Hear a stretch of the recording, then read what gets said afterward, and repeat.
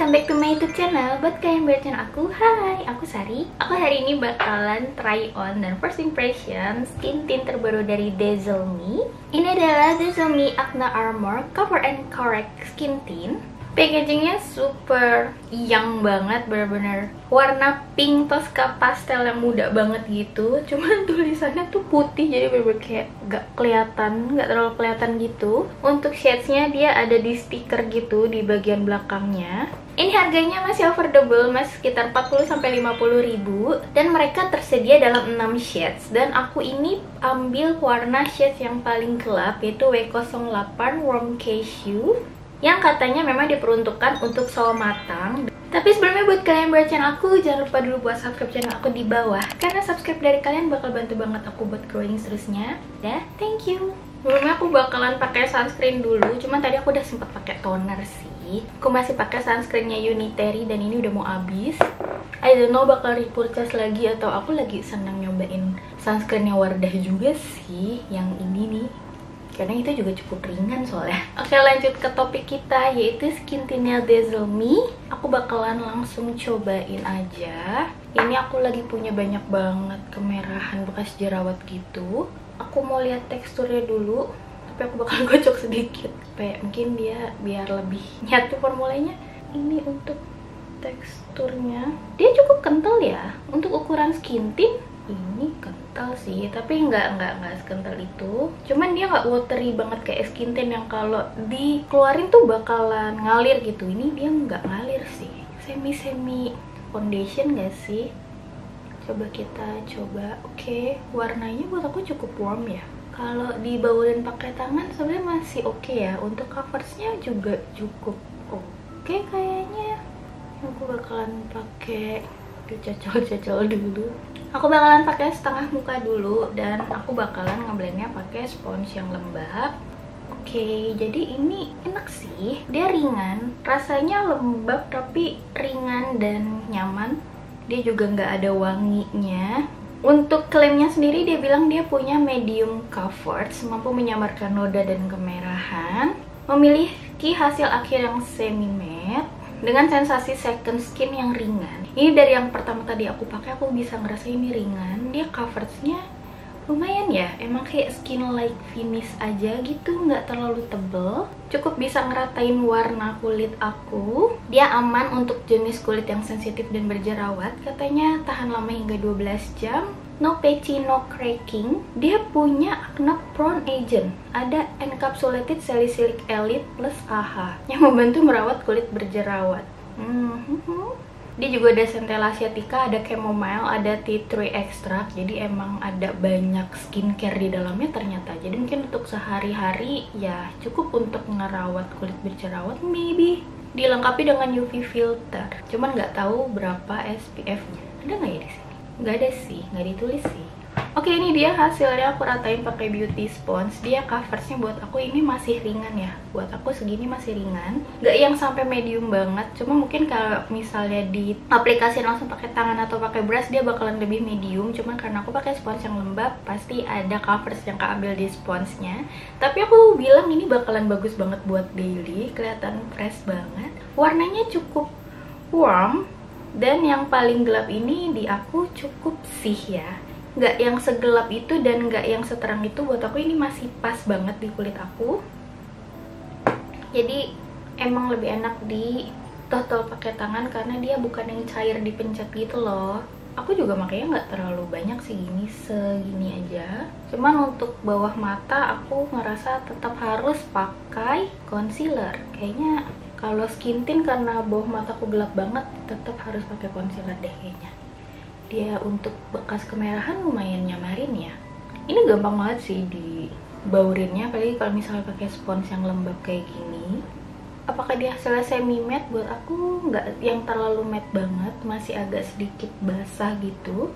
Tapi ya aku bisa bilang ini ringan ya di kulit aku bakalan pakai cover sekitar segini aja. Buat aku cukup oke okay banget sih. Bekas jerawatnya sebenarnya masih kelihatan kayak samar-samar hitam aja yang kayak lebih gelap gitu tapi kemerahannya udah menghilang ya. Jadi kayak kemerahan warna-warna kemerahan tuh bisa hilang. Tapi bekas jerawatnya masih samar-samar kelihatan karena dia covernya emang gak high dan warna ini buat aku pas sih. Kayak aku nggak perlu pakai sampai leher pun juga masih aman.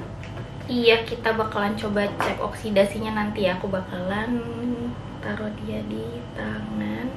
Aku bakalan aplikasiin ini di tanganku. Nanti kita lihat dia berubah warna nggak. Tara buat aku masih agak cukup warm yang agak orange sedikit gitu. Bukan yang netral ya ini beneran warm sih warnanya.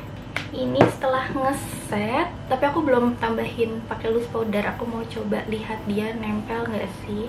Kayak dia masih nempel pastinya. Tapi dia nggak yang terlalu transfer banget jadi ya lembabnya aja yang nempel tapi produknya masih nempel di kulit muka aku gak yang keangkat banget aku bakalan pakai sedikit concealer di bawah mata aja soalnya aku mau bikin video lain hari ini. Jadi makeupnya gak mau kelihatan ada under eye nya aku lagi suka pakai brush buat aplikasiin concealer di bawah mata. Kalau coveragenya lebih kejaga gitu loh nggak terlalu banyak keangkat kan.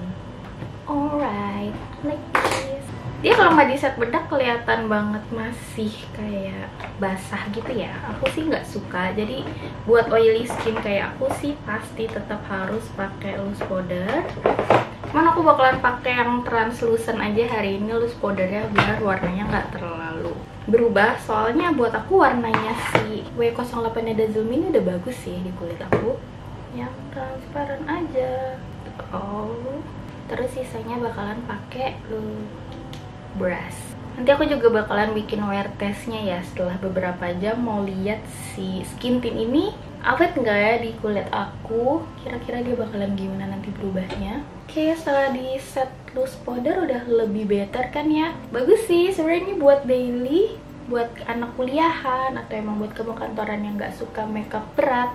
Ini bakalan bagus banget karena dia sama sekali nggak kelihatan dempul jadi kayak bener-bener kulit aja finishnya juga cakep nggak yang terlalu dui setelah di set cuman beneran kalau misalnya nggak di set dia beneran masih basah gitu aku ngelihatnya jadi ini beneran di harus di set bedak baru dia lebih semi matte dan nggak peachy sih beneran tuh.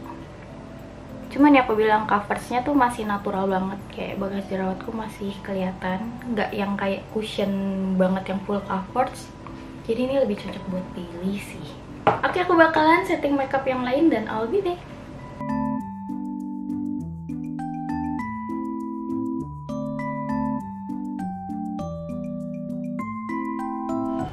hasil makeupnya aku pakai skin tint dari Me. So far aku suka sama warnanya. Warnanya cukup warm dan di aku kayak gini tuh nggak terlalu abu nggak abu-abu. Jadi kayak udah nyatu sama warna kulit aku. Cantik banget dan ini berasa ringan. Jadi kayak buat daily ini bakalan oke okay banget sih. Bakalan kepake banget. Dan ini tadi yang udah ngeset ya. Kita akan coba lihat.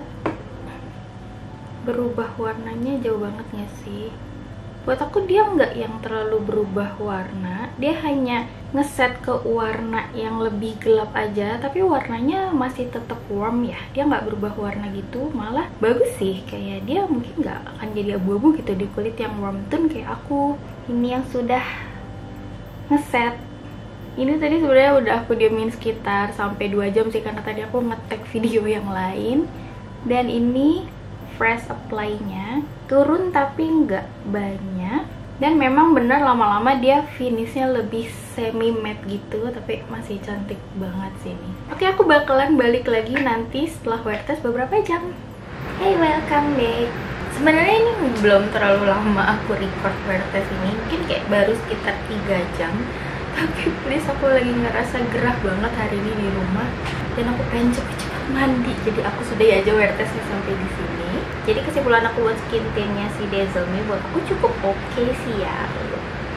Buat daily ini masih cakep banget dan untuk daya tahan buat aku oke okay lah. Aku juga hari ini nggak yang terlalu aktivitas berat tapi beneran suhu hari ini tuh kayak gerah banget gitu hujan gerah jadi bener kuat aku mau mandi. Kalau dibilang ringan buat pertama kali pakainya memang ringan tapi uh, setelah sejam gitu berasa sih kalau misalnya aku pakai sesuatu jadi kayak bukan bener-bener kulit doang tapi emang berasa aku pakai skin tint atau sesuatu di atas kulit aku mungkin karena itu juga aku ngerasa gerah atau memang karena suhu hari ini emang lagi enggak banget. Tapi untuk ketahanannya ini masih bagus banget dan lama-lama semi matte-nya di kulit oily aku lumayan lebih sedikit glow tapi nggak yang terlalu glow sih. Tapi lebih kayak lebih healthy lagi. Tapi kalau dipegang ini nggak semet yang awal. Tapi kalau misalnya kita tes dia tuh look dia nggak turun jatuh jadi ini emang udah kayak nempel gitu di kulit aku jadi aku mau kayak gerah banget.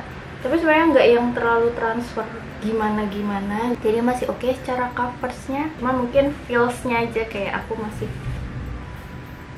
buat oily skin hmm, masih berasa gitu di kulit aku. Tapi kalau buat warna aku proof banget ya. Warna ini sih lumayan oke okay ya. Dan kalau dibilang oksidasi atau enggak maksudnya mengkusam atau enggak setelah beberapa jam sih saya coba deh. Ini resupply nggak terlalu yang mengkusam banget sih.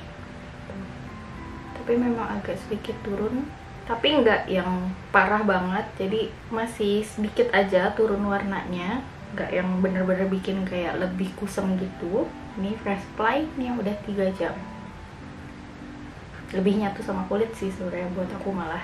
Oke sekian dulu review aku hari ini tentang skin tintnya dari Dezumi. Buat kalian suka sama video aku kalian boleh komen, like, dan subscribe di channel aku di bawah. Karena aku suka banget tentang makeup Terutama buat kulit somatan jadi stay tune. Jangan lupa juga follow instagram aku di Sapirili Jadi kita bisa berteman. Sampai ketemu lagi di video aku selanjutnya. Bye